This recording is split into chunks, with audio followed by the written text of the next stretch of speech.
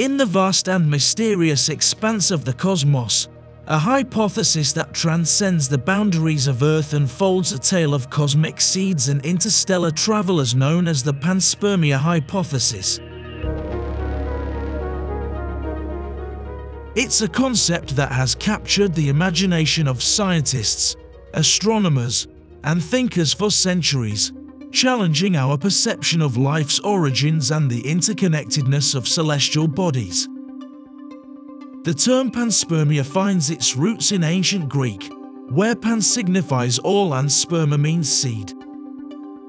This concept proposes a breathtaking idea that the seeds of life are not confined to the boundaries of our blue planet but are instead dispersed throughout the cosmos.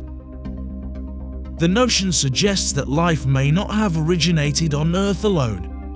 Rather, it may have arrived from distant corners of the universe, riding the cosmic winds on comets, meteorites, or interstellar dust.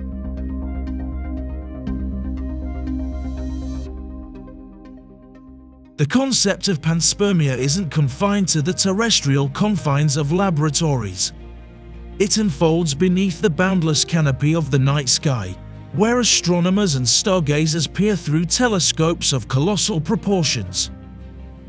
Panspermia rekindles our curiosity about the universe's remarkable intricacies.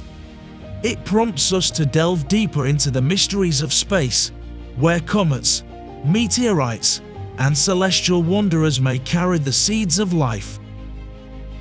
It sparks our imaginations and encourages us to envision the cosmic tapestry as an interconnected web of life's potential. The panspermia hypothesis reminds us that the cosmos is not a desolate void but a vast and complex ecosystem where life may exist in myriad forms, waiting to be discovered on other celestial stages.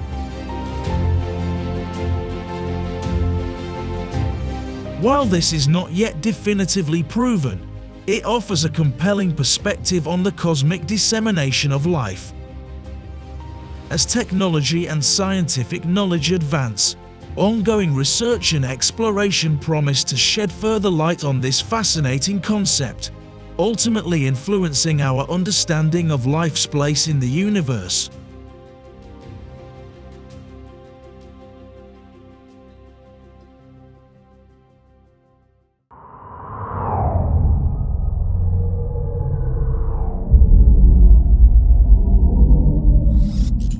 Orbit. Beyond the blue.